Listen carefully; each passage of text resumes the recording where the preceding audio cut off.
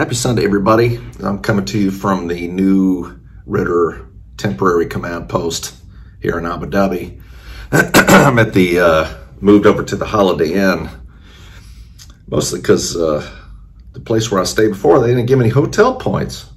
So I was staying there and getting nothing for it. So I figured, well, I might as well move to a place where I get some points, right? So anyway, today to talk about, I was looking through, I'm in First Samuel now reading uh, 1 Samuel 4, verse 20. So just set the stage here. So Eli was the high priest at the time. Uh, in the days of Samuel, um, there was a prophet uh, of God. And Eli's sons were were uh, priests as well in the in the temple. They were the the uh, the house of, or the clan of uh, Levi and um, and were were wicked. And and Eli, God was was patient until he just he just finally he used Samuel to tell Eli, you you haven't said you haven't done anything. You haven't you you love your sons more than you love me. You you refuse to to um, correct them, and so judgment was coming. And um, so there was a battle with the Philistines, and the Ark of the Covenant was captured. Guy comes running back, tells Eli. Eli falls back, dies, and it just kept kept uh, uh, tumbling there because because um, one of uh, uh, Eli's sons, Phineas, his wife, was pregnant, and she gives birth.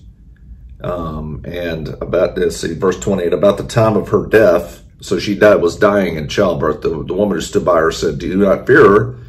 Have borne a son, but she did not answer, nor did she regard it. Then she named the child Ichabod, saying, The glory has departed from Israel because the ark of God had been captured because of her father-in-law and her husband who had died, right? So she's, and she said, The glory has departed from Israel for the ark of God has been captured. And Ichabod, looking in the notes here, basically means inglorious. And it's like, uh, so I was you know, wonder strange things. Sometimes I'm like going, I mean, if you're, you're Ichabod growing up, I mean, it's in your name. You're, you're constantly reminded of this pain and agony that your, your parents uh, felt. And there's another story it reminded me of. Um, so uh, in Genesis um, chapter 35, uh, verse 18, so Jacob was married to Leah and Rachel. Rachel was his favorite, and they're sisters. Which I don't, I don't know how you could do that. Those two sisters, but uh, Rachel, obviously, he he he loved Rachel, um, and she had given birth to uh, Joseph, and then she got pregnant again, and and in labor she she died in labor. So in uh, uh, Genesis 35, uh, verse 18, uh, and so it was as her soul was departing, for she died, that she called his name Ben Oni, but his father called him Benjamin. So Rachel died and was buried the way on the way to uh, uh, Ephrath. And I read a book years ago. it's called "The Bible Is History." and It was basically a a narrative story of the Bible. So they, they took the verses and everything and basically kind of fleshed it out. Um, and, uh, you know, added dialogue and, and, and, and gave a little more context. So it, I always remember this part in that book because Joseph in the, in the, in the story was a little bit upset with his dad with with Jacob going, well, why why did you change his name? Mom wanted him named Benoni, which basically means which means uh, son of my sorrow. And Jacob, who was in the in the story, was was just distraught and upset uh, that he had lost Rachel and he basically said, uh, "Well, I, I, how could you, how could you let him go through the rest of his life knowing that he was the cause of his mother's death, and that would just be you keep heaping that upon him." and and that's why he changed the name to honor her, uh, son of which Benjamin means son of the right hand, son of my right hand, uh, which you know obviously the the right hand you use it every for everything. Uh, in those days, that was the, the, the honor to sit at the right hand. To, to you know, he was the son of everything to me, and which is why why we named. Uh, I always remember that part in that book, and that's that's that was the point where I, I came home. I was on a trip at the time reading that. I came home and I told Arlene. I said, "Well, we have another kid. We hadn't had we hadn't had Benjamin yet." And I said, well, if we ever have another kid, if we have another boy, he's going to be named Benjamin. And she's like, well, hold on now, what? And I'm like, no, this, and I told her why, you know, son of, son of my right hand. She really couldn't argue with that, could she? she said, well, okay.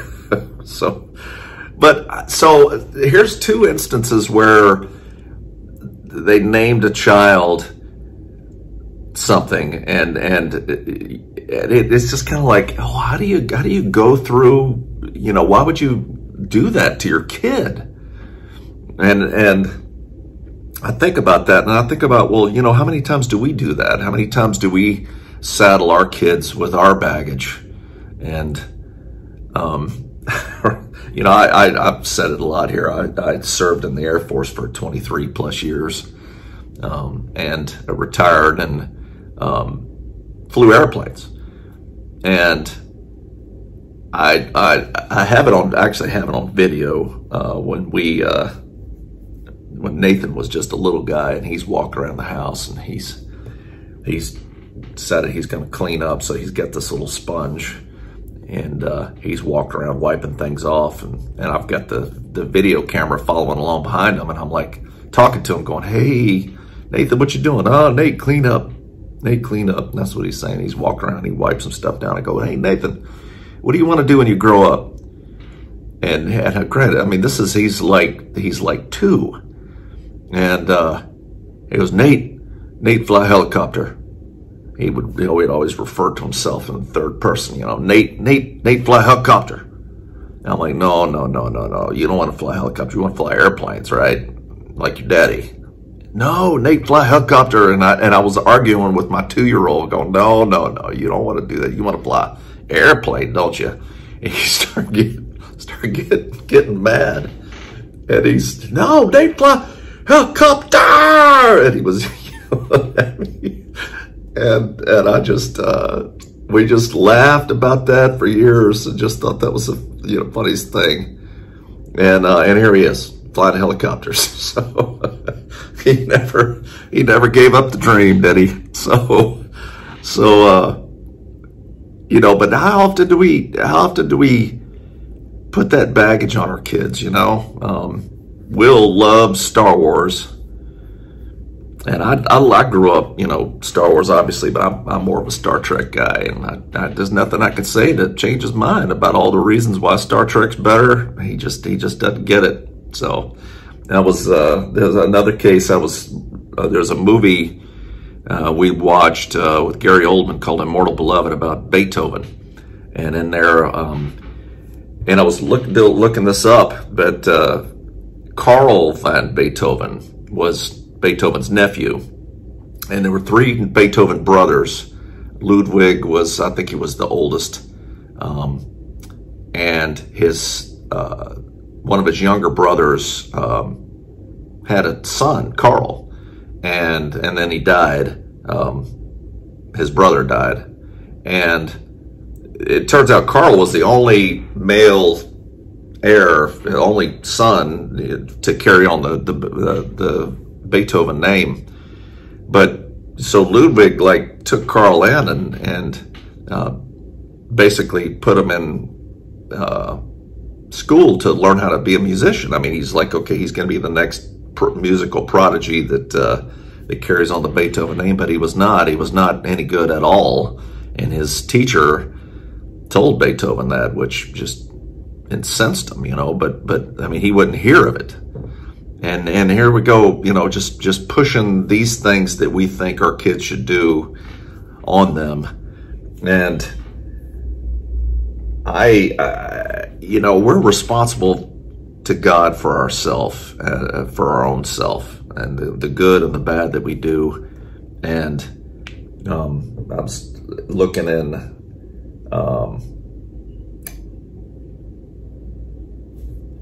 and uh, these, you know, the verses that basically you're you're responsible for your own um, for we are, like in 2 Corinthians 5.10, for we all must appear before the judgment seat of Christ, so that each one may be recompensed for his deeds in the body, according to what he has done, whether good or bad. We're all, we're all responsible for our own self. And you know what, uh, as, as I've, I've learned, as, and I'm still learning, as a, as a parent, to to give your kids the freedom to, to, to choose and to do the things that they want to do and and because they're responsible for it. And we've set them up for success and and and given them all the tools they need to go into life and succeed and it's up to them now. And we pray for them certainly.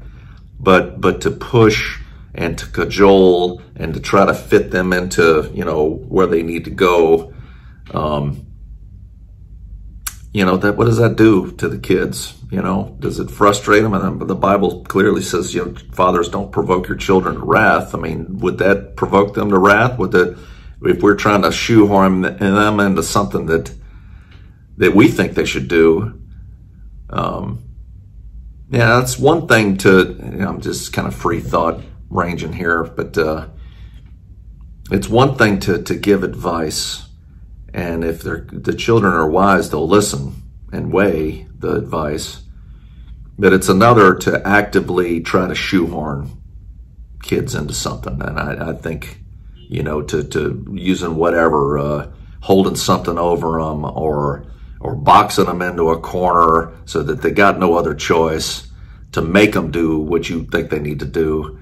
Um, I just, I just don't think that that's right. I just don't think that we should do that as, as parents and pushing baggage and things like that on. Anyway, just some thoughts today.